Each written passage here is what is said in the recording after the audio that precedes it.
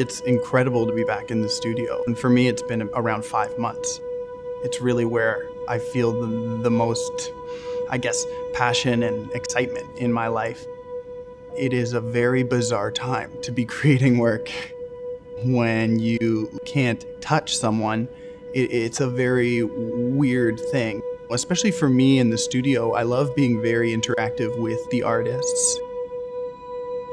I'm actually having to grow a lot as a choreographer and just as a mover in the studio because it can easily become a miscommunication when there is that spatial gap that you have between you and the dancers.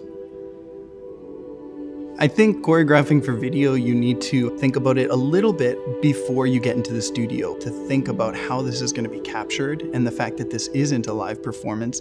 And how do we give the audience that's watching this on a screen, how do we give them that same feeling? Of importance to the performance? How do we make it just as important as a live performance? And that's where I had to think conceptually how we tie that into the technicalities of video. We're working with two separate duets that are actually quite similar, and they actually share the exact same piece of music. So they're about six and a half minutes long, and you're kind of going to be missing out on almost 50% of each of these duets. When I knew that it was going to be for video, I thought right away there's so much possibility for smaller and more intimate movements. And it can be so subtle. So I'm actually looking at the relationship between the couples and trying to create something between them that is seen. And I think that with video, it's actually a little bit easier to do that instead of sometimes when you're 30 to 100 feet away in a theater. I kind of want to just give a little bit of a glimpse into humanity. I love working with simple concepts.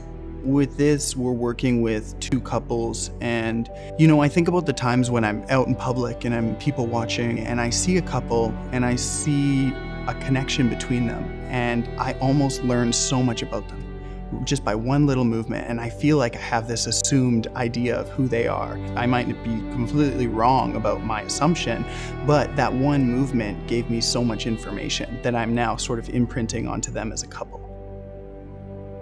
That's something that I'm trying to show within this work and within the two duets and I think that that's something that's very simple, but it can be really powerful sometimes. And then also, by not showing all of the duets, it's kind of the concept of, you know, you don't really know everything about a relationship. And you, you can't make those assumptions because everyone's kind of gone on their own journey. And I think the things that they've experienced, especially privately, is kind of what makes it special and makes them special. As someone who is uh, who is Métis, you know, the Metis people were from two worlds and they kind of connected and created one community, one culture. And I think that there's something really beautiful about that idea. And I try to bring that idea kind of into my life and into my choreography and into the way I work and the way I talk. I actually grew up out of my community. I, I learned about it when I was in my teen years because it was something that my grandfather was trying to reclaim. I'm so grateful that he did because now I'm kind of on this path of sort of reconnecting and learning about my Indigenous heritage, uh, which is really special for me. And I think it's a very spiritual thing, and it, it's kind of like a journey that I feel like is reflected through my work in a lot of ways, whether it's subtle or, or a little bit more intentional. It's been a journey to be able to, to make it to this point in my career, which still feels very early, obviously.